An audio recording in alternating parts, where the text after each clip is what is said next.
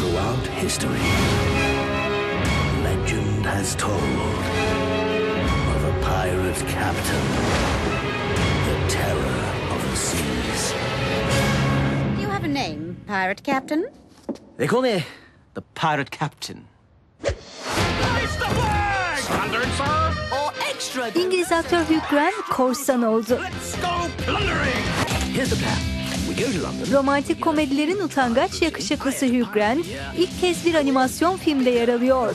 The Pirates, Korsanlar isimli filmde başrolü seslendiren Hugh Grant yapımın Londra premierinde yönetmen Peter Lord ile birlikte basının sorularını yanıtladı. Büyük bir yıldız arayışındaydık. İsmi büyük puntolarla yazacak biri hani İngiliz bir aktör. Aklımıza bir seri isim geldi ama aralarında komik aktör pek yoktu. Harika bir komedi aktörü. İşte bu yüzden Hugo seçtik. comic, a, a great comic actor. That's why we chose you because he is a great comic actor. One Pirate of the Year entry form, if you please.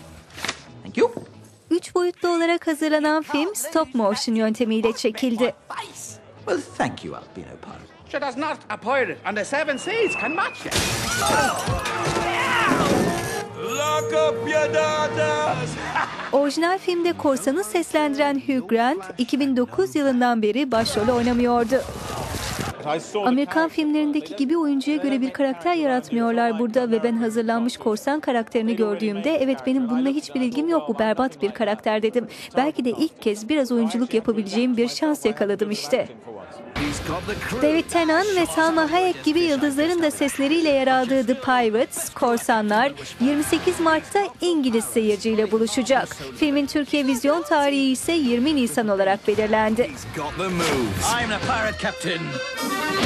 And I'm here for your gold. I haven't got any gold. Then what is this? It's a baboon's kidney.